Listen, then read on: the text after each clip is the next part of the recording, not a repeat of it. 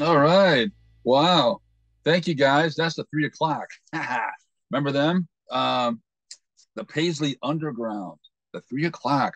Michael was it Cor- Coricio? Wow, I've been a fan of his for like almost what 20 years, maybe more, if I'm honest. Um, I'm probably mispronouncing his name. Amazing stuff. The three o'clock out of the West Coast.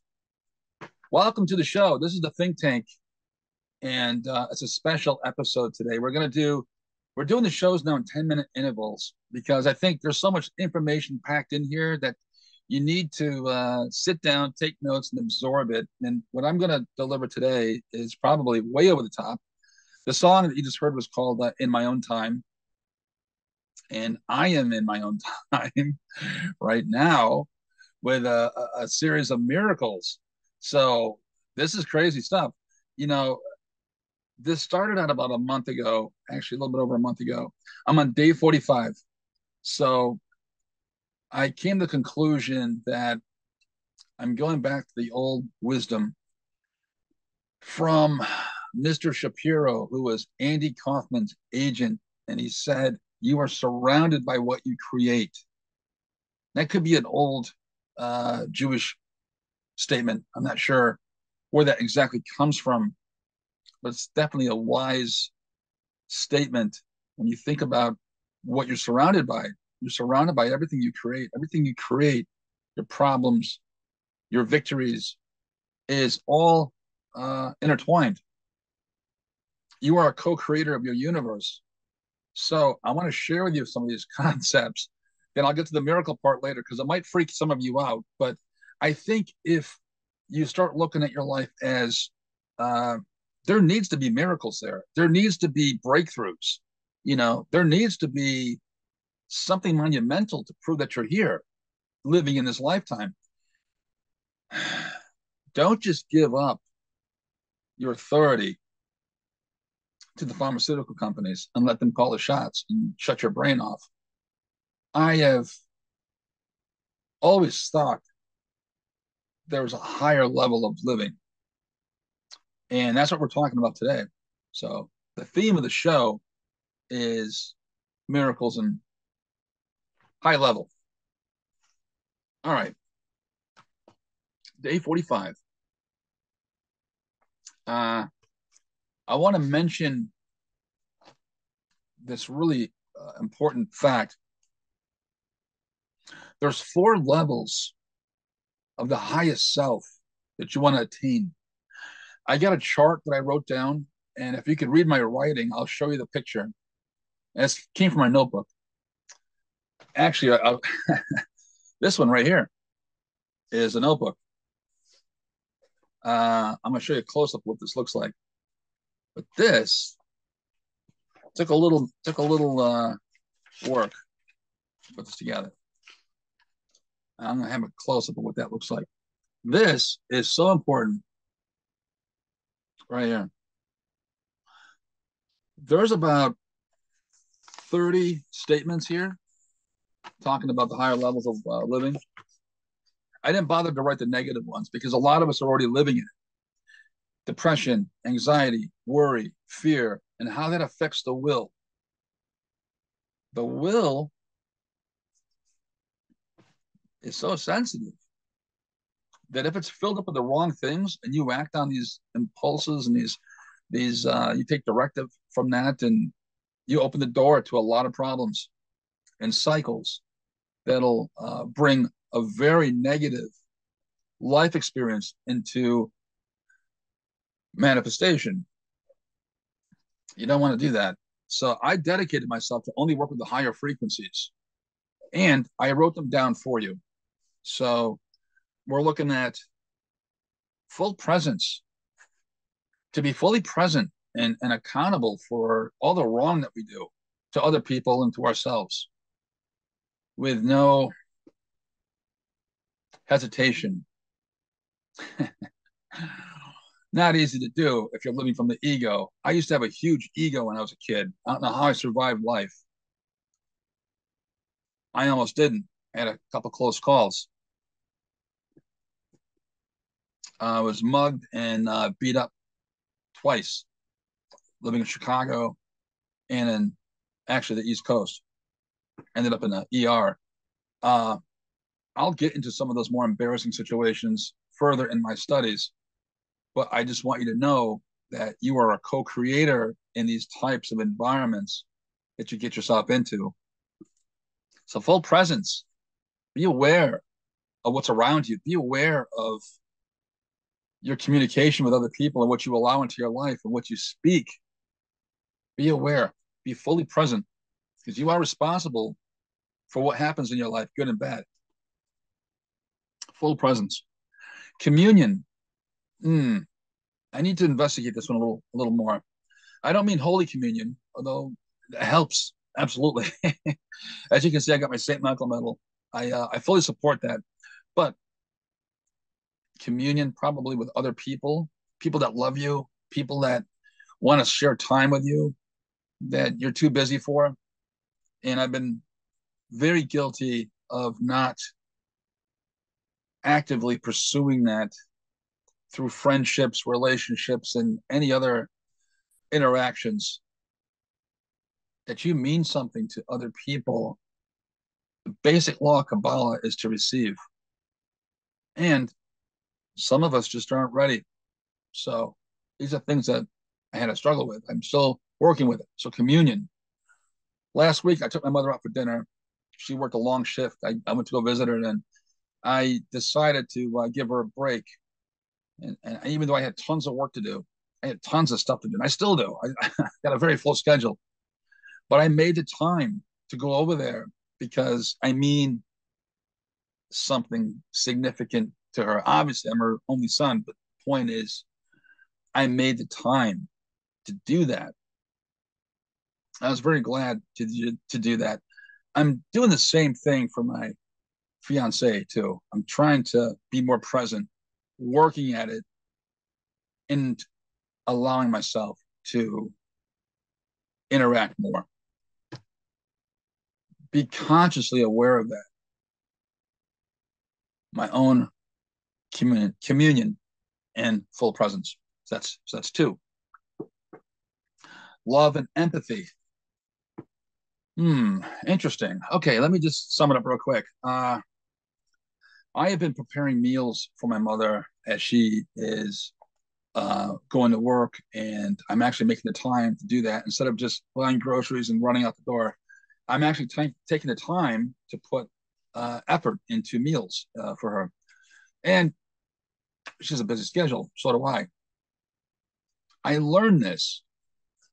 I learned this that when you prepare food for anybody, from a place of love, it activates a, a very interesting neurochemical in the brain that sends out healing, love, and uh, attraction, and it brings warmth and comfort in that person. Healing, it's very healing.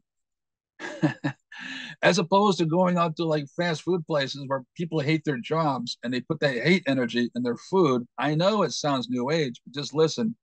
That will also activate a part of the brain that sends out hate and negativity, and it's a chemical that will actually kind of like damage your inner organs. Wow, is that too much? Is that too much information? I had a friend of mine who was um, a very good uh, yoga meditation teacher, and he would actually, he's from East India, and he would send his food back to places, sometimes as many as eight times. Eight times because it was so much, it was so negative that he didn't want to eat it. And as a result, uh, one memory comes to me that he actually sent the food back and didn't didn't want it at all. It was that bad. He was so sensitive to this energy, he could actually feel it. Wow. So something to think about. This busy world that we're in.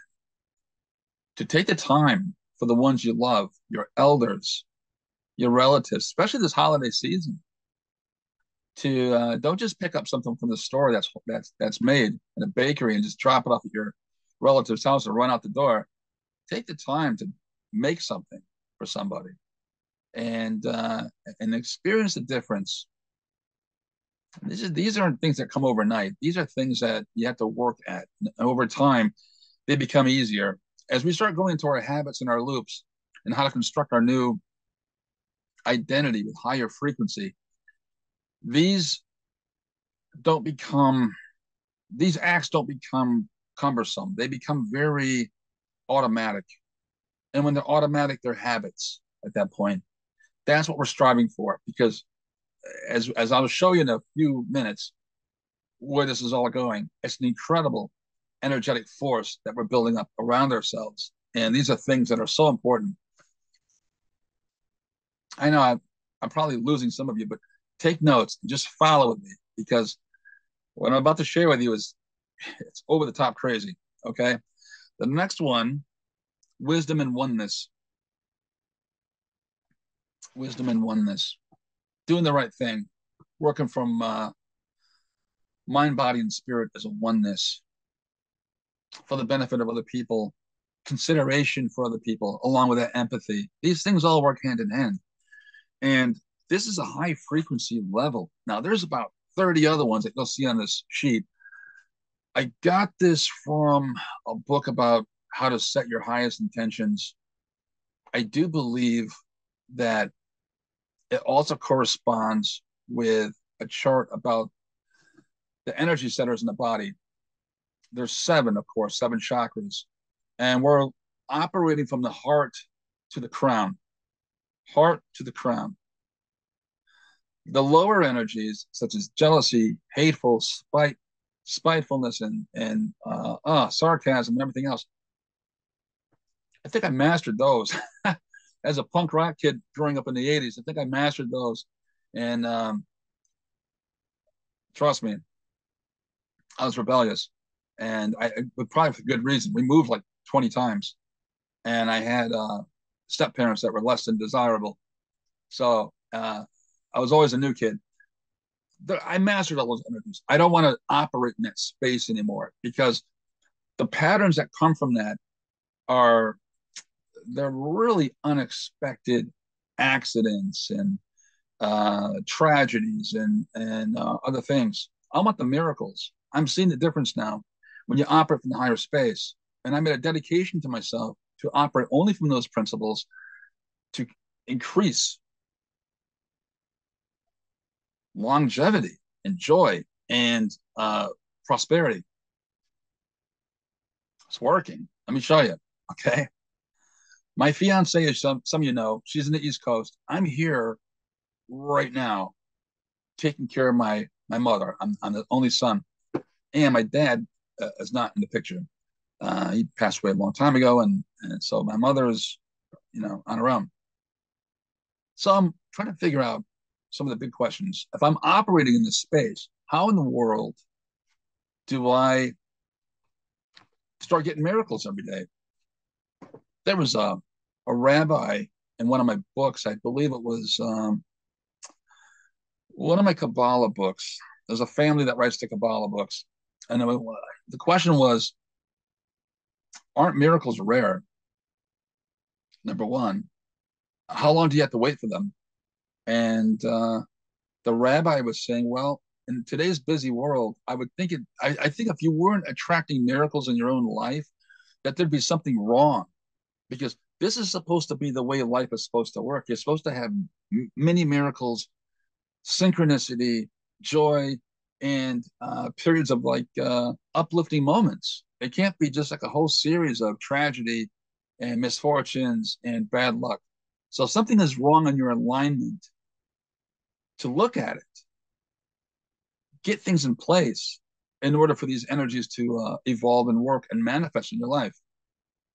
Now, that is something you should uh, be thinking about. miracles just don't occur in movies; they occur in real life. But you got to work for them.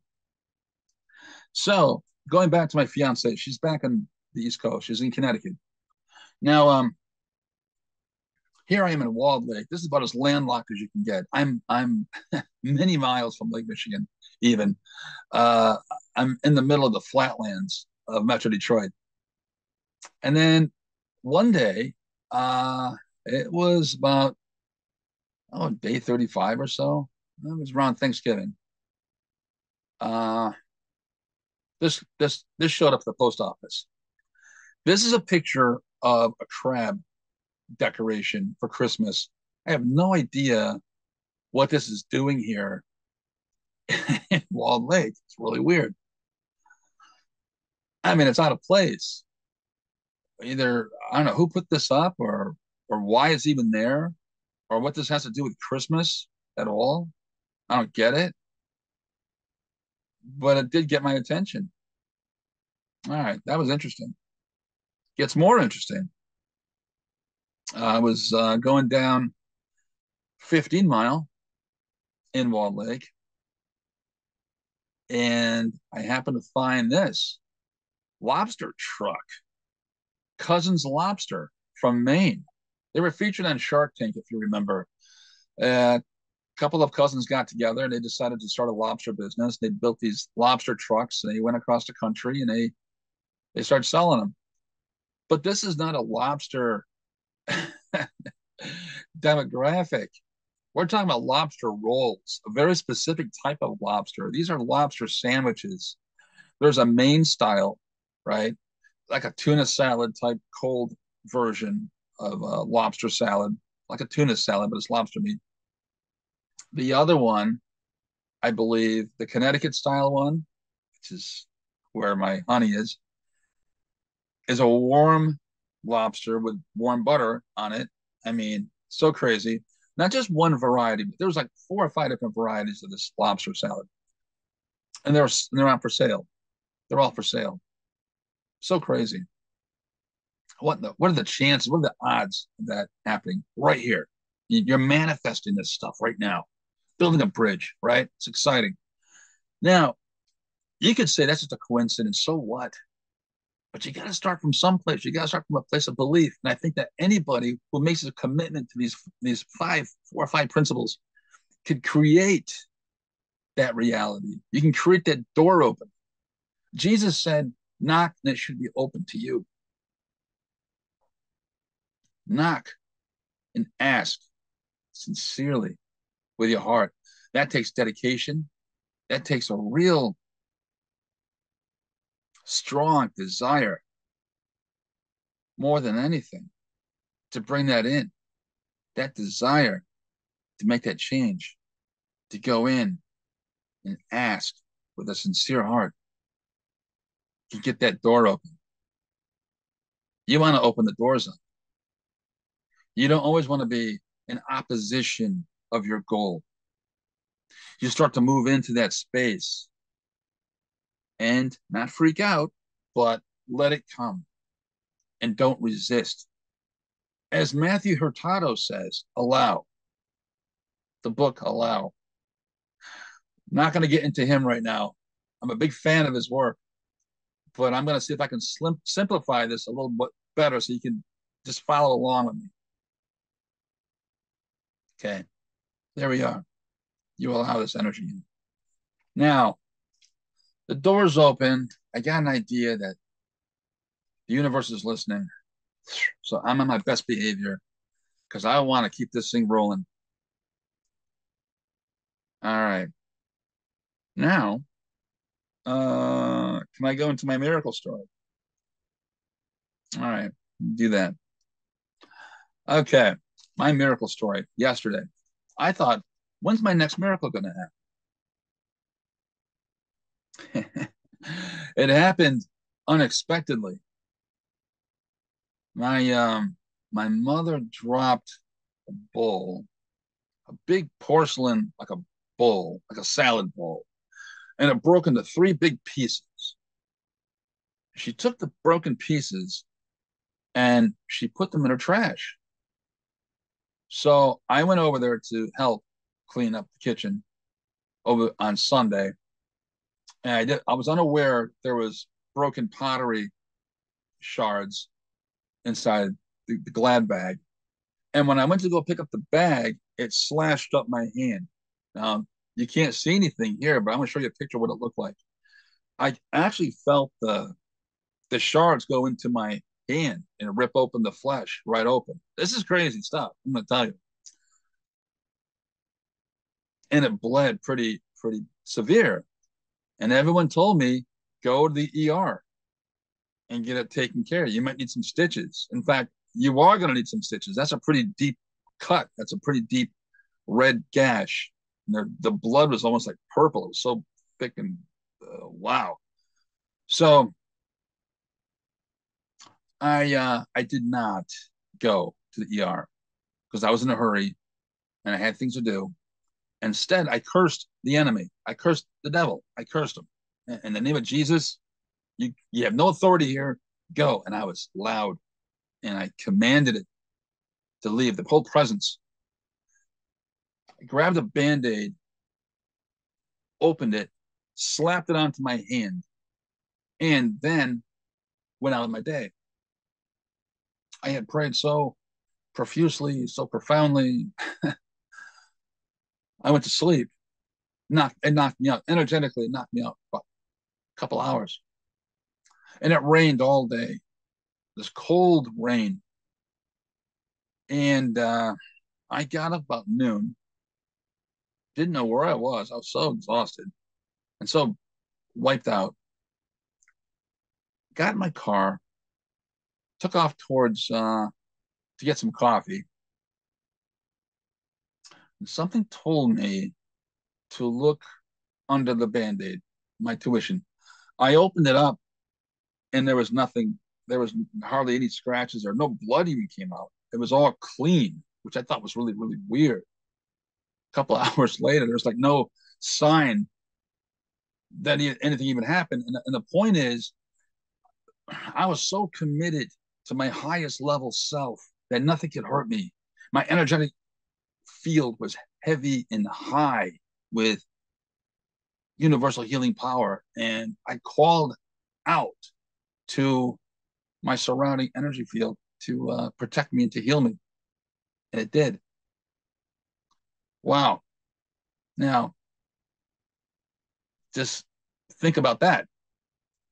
Also, reminded me of a story that happened to me when I was younger. Similar story. My my mother's husband uh, was home drinking beer and being belligerent. That was his that was his normal state. He threw a bunch of beer bottles in the garbage that broke glass glass bottles that broke. I want to say they were Grolsch bottles. You know, if you remember those, they had a little ceramic top. We used to get them from Long Island. They, I don't know if they still make them or not, but they were all broken and busted. I um I gashed my thumb really good. You probably can't see it, but I'll, I'll show pictures of what it looked like, and you can see that it split right up the middle like a lobster tail. Now, Facebook banned my story. They said it was too graphic. I didn't show the picture of the wound. I showed a picture of a split lobster tail. Big difference. We didn't take a picture of of it uh, back then, but I had the scar for many many years, and there's a close up of what it looked like. Why am I telling you this story? I'm talking about the power of forgiveness. A few years ago, I forgave him. I don't know why. My intuition was talking to me, and I forgave him. Even though I had this ugly scar on my thumb. I used to have to hide it from people when I talked to people because I was kind of embarrassed of it. Shake people's hand, I'd kind of hide it. I didn't want people feeling sorry for me either. That was the other thing. So,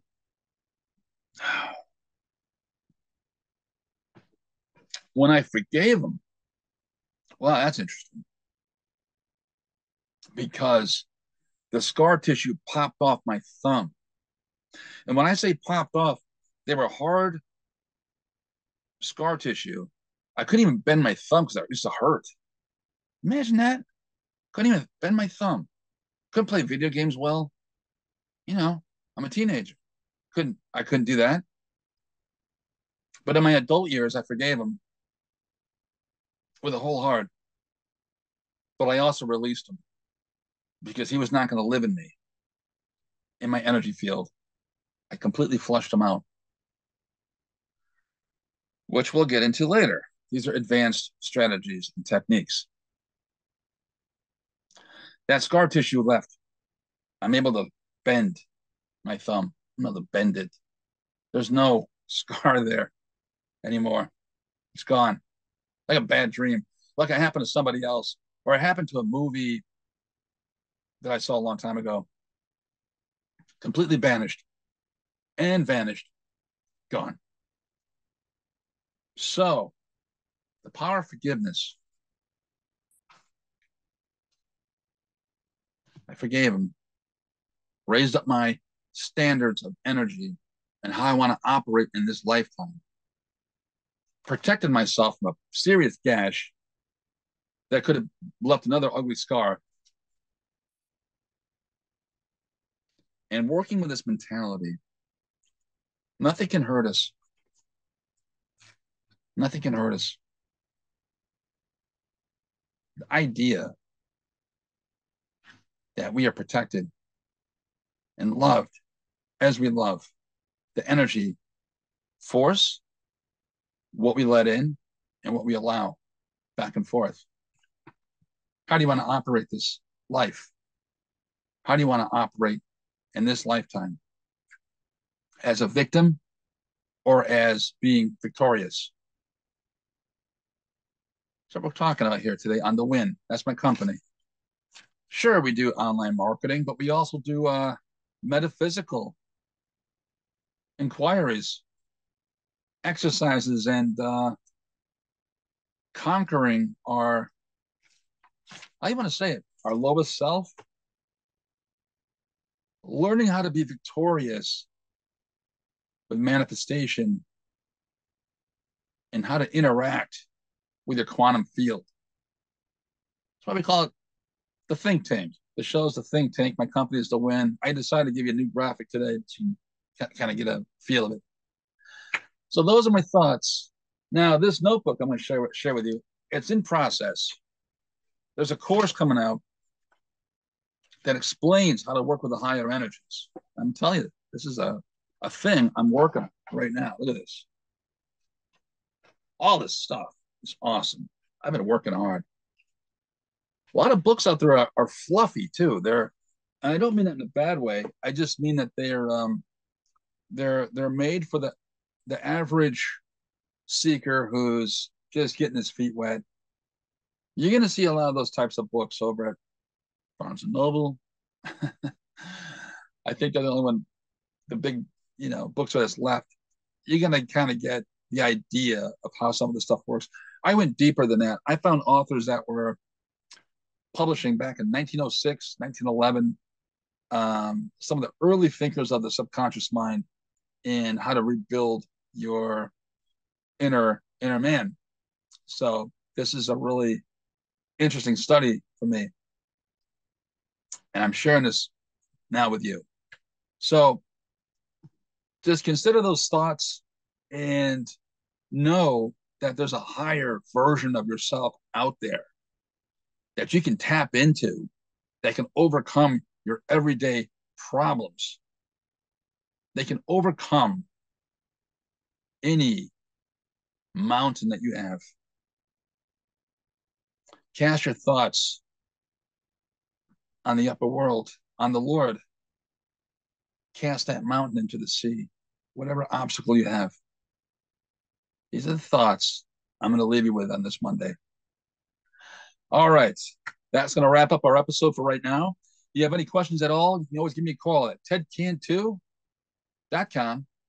Also, uh, you can drop me a line at this email address. That's tedcantu at gmail.com. My phone number is 248 277 6141. And you could also, hmm, that's it, isn't it? Three? the phone number, email, website. Yeah, I got you. All right, cool. So thanks for watching. We'll see you online. We got more stuff coming your way this week. Amazing things.